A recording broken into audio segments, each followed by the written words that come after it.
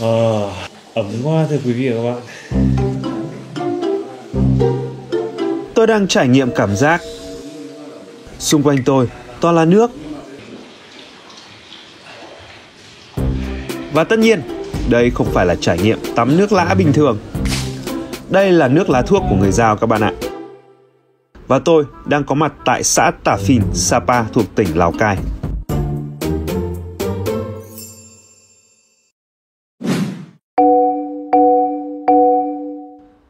Đã có một chuyến đi du lịch tới thăm bản tà Phìn tại Sapa.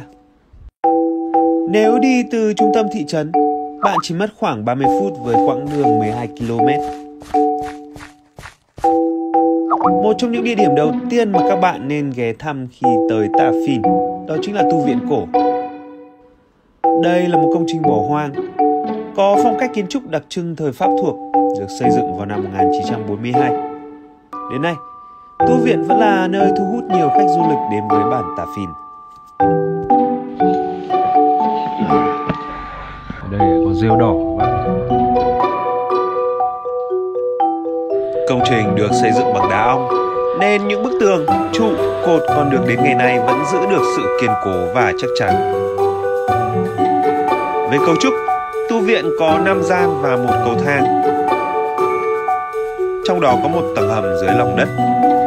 Ai mà thích leo trèo thì cẩn thận nhé. Xã Tả Phìn là nơi sinh sống của người Dao Đỏ. Thế nên, nhiều sản phẩm du lịch tại đây gắn liền với đời sống văn hóa của họ. Ví dụ như nghề dệt thổ cẩm.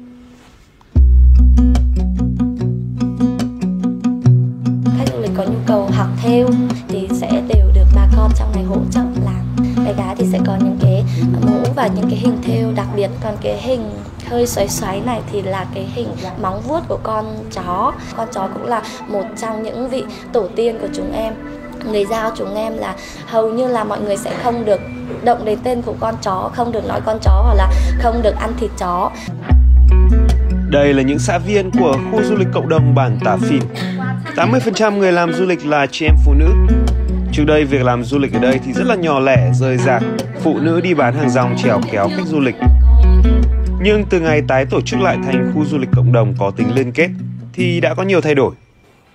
À, Hợp tác xã du lịch cộng đồng Tà Phìn thì được thành lập từ năm 2019. Hợp tác xã này thì được ờ, thành lập dưới sự hỗ trợ của Phòng Văn hóa Du lịch Sapa và dự án GREAT của chính phủ Úc. Đây là một khuôn viên của hợp tác xã mà tôi đã tới. Du khách có thể cắm trại, tắm lá thuốc và trải nghiệm những món ăn đặc sắc của người Giao. Ví dụ như đây là cái món canh gà thảo dược. À, khoảng 30 vị thuốc mình nấu lên bia nhặt bia thì sẽ là thuốc nhặt là ăn thì cái món này sẽ gọi là bia nhặt loại thuốc này đa phần là sẽ giúp mình tăng cường sức khỏe, tăng cường sức đề kháng và lưu thông cơ thể ạ. món này là món củ thảo quả xào với lợn hun khói ạ. Ò gai trao kiểu chân, là hảo đòi.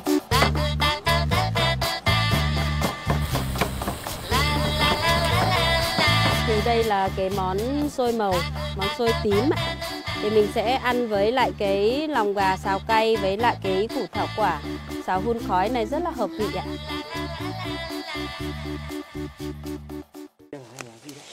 Đây là lá ờ, để nhuộm xôi ạ. Cái lá này nếu mà mình vò lên ấy, thì nó sẽ có màu tím ạ.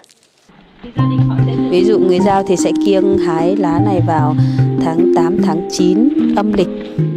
Tại sao? Tại vì nếu cái tháng đấy là tháng để mình trồng lại cây này nếu mà mình hái thì nó sẽ bị mất hết đi. Và đây có lẽ là một trong những trải nghiệm thú vị nhất khi bạn đến với Tà Phìn. Và tất cả quý vị bạn tôi ờ, đang đi ờ, hái lá lá thuốc người Giao Lá thuốc hái ở trong rừng không chỉ dùng để làm nấu ăn mà còn để tắm nữa nhé. một ngày chị lên đây mấy lần? Ờ, khách mà yêu cầu đi nhiều ấy thì có 4 lần trong một ngày. Ví dụ như cái bài thuốc tắm cho chống đau xương khớp ấy thì sẽ có đủ 18 vị thuốc. Ví dụ như ở quanh đây thì mình chỉ hái được khoảng độ à, à, sáu uh, bảy vị thôi còn còn lại mình lại cần phải đi vào rừng già hơn để mình hái Xin chào quý vị và các bạn và bây giờ tôi sẽ trải nghiệm tắm lá thuốc mây dao.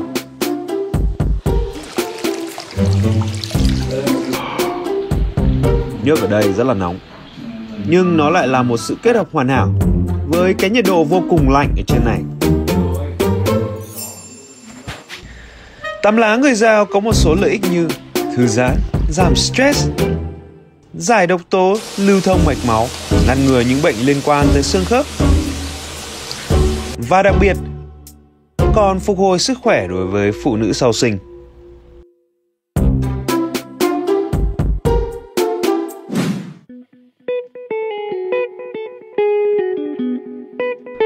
Và tối đến, du khách có thể nghỉ ngơi tại một trong các homestay của chính những chị em người dân tộc Giao vận hành.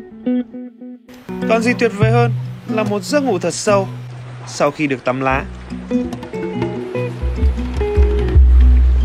Và đến sáng ngày hôm sau, khi đã tràn trề năng lượng, du khách luôn có thể tiếp tục khám phá bản làng, tìm hiểu về văn hóa người Giao.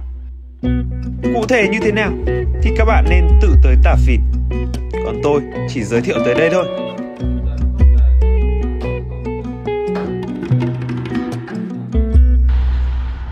Xin chào và hẹn gặp lại.